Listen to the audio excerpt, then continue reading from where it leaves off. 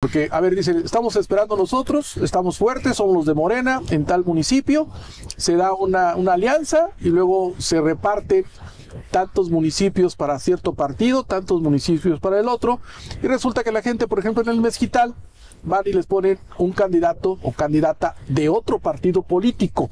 Y ahí es donde pues la gente de Morena pues se siente traicionada. ¿A eso te refieres, Hernán? Sí, creo que eso es lo que... Yo no estoy...